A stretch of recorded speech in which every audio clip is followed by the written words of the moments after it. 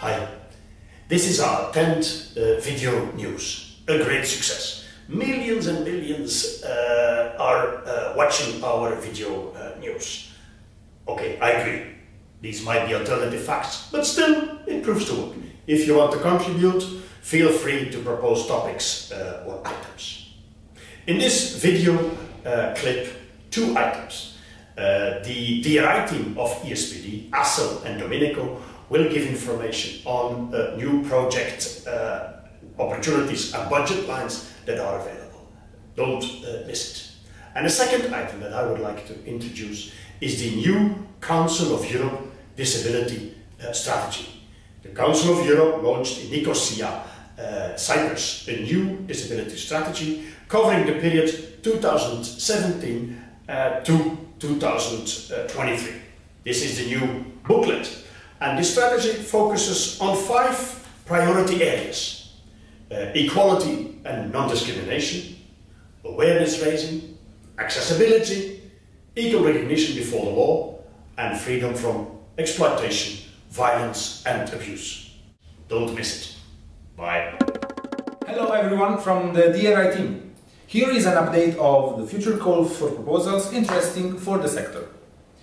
Under Erasmus Plus, we have uh, Key Action 3, Support for Policy Reform, focusing on social inclusion. This call will uh, fund projects aiming at disseminating and scaling up uh, good practices on inclusive learning, as well as developing and implementing innovative methods on inclusive education. Deadline for submission is the 22nd of May.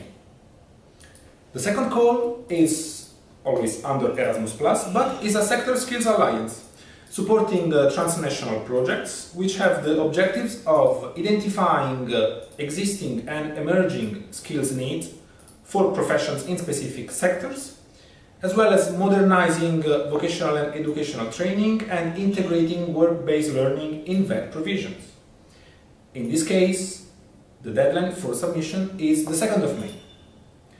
The third call is under the program Active and Assisted Living, focusing on development of integrating uh, different solutions based on uh, ICT to support uh, active, healthy and independent living of older adults.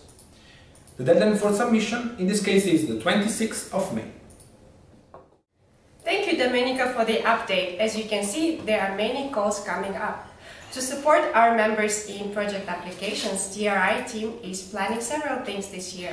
First of all, we have two webinars coming up in May and in September on EU funding opportunities. In addition, we have uh, a project development workshop in uh, October, which will be held in Montenegro. And uh, in addition to this, we have, uh, uh, as always, our uh, funding information system portal on the website where you can share your ideas on projects and also find project partners. Uh, so mm, check constantly our website, follow us on Facebook, on Twitter, and you can get this information uh, as quickly as possible. So thank you very much and see you.